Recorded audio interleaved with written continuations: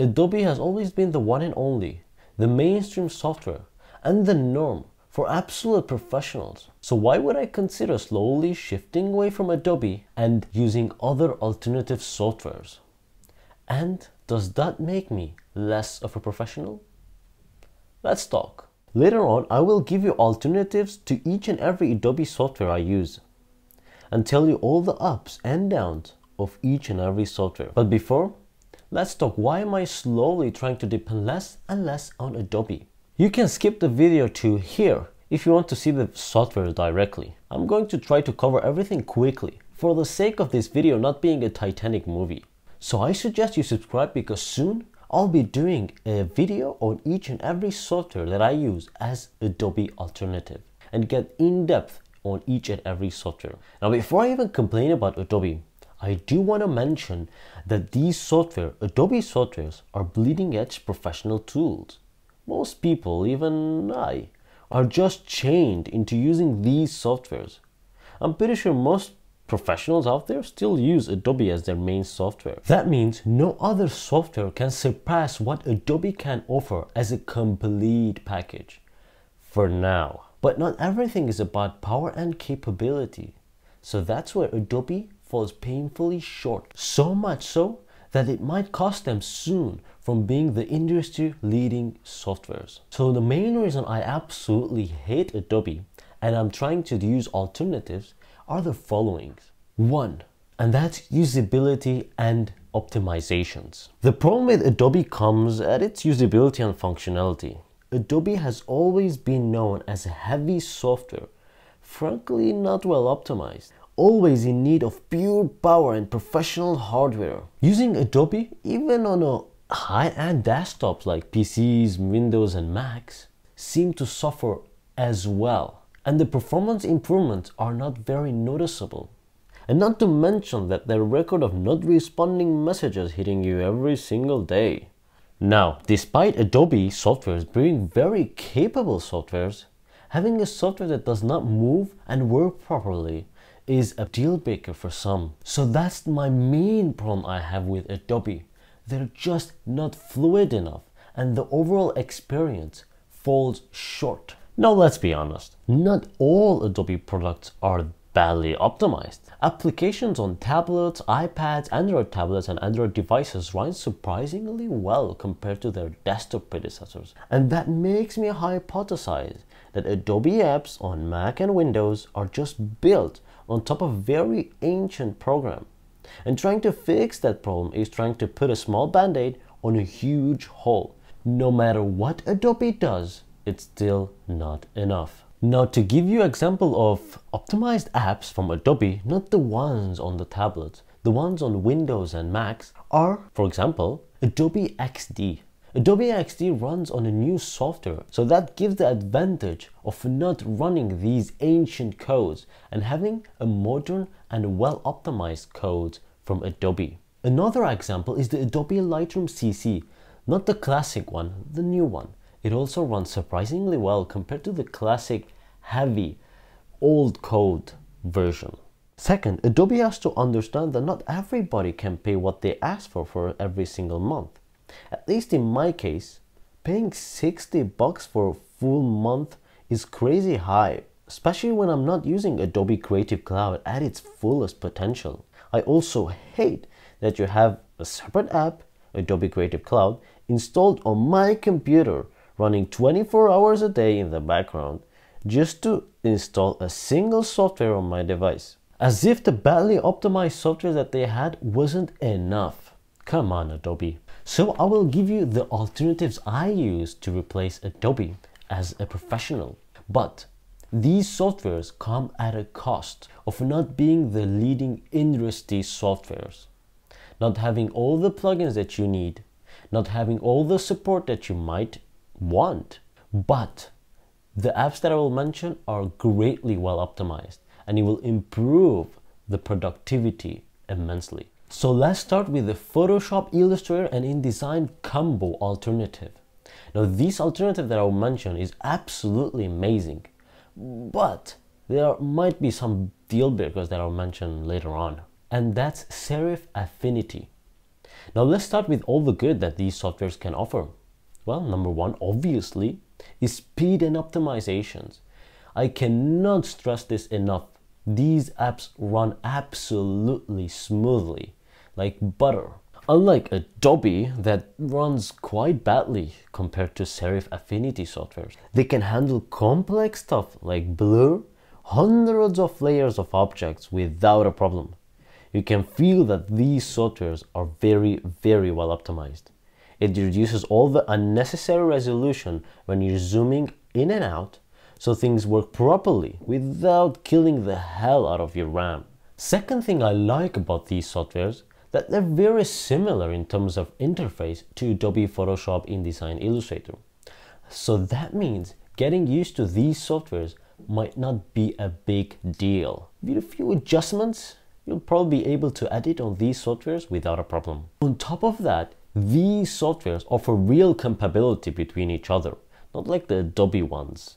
Now, Adobe ones have different softwares that you can open, work, and close, and open another one. But with these softwares, you have a single app, for example, Affinity Publisher. I can open Affinity Publisher InDesign Alternative with a single click, and I'm in Affinity Photo, Affinity Designer, and Affinity Publisher, it's already open, to cut backgrounds, design illustrations, and put effects that I might not be able to do solely with Affinity Publisher. And all this in one software. Holy moly. Where were you, Affinity, when I was suffering with opening up and closing up different softwares every time I have to do something? Plus, Affinity softwares are quite cheap and for a single pay, you'll get them forever, at least that specific version. Now let's jump to video editing, animations, and etc. etc. The Premiere alternative. So I mainly use three different alternatives.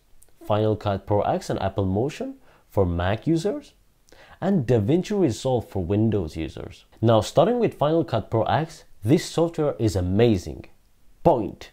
If you want a quick, simple way of editing and a very responsive way, Final Cut Pro X is incredible. It handles some unimaginable stuff for a simple computer. It also offers amazing flexibility and professional tools, on top of plugins, generators, and transitions. At a single price, you're off to go. You can create very professional videos with Final Cut Pro X, no doubt. DaVinci Resolve is also an amazing alternative.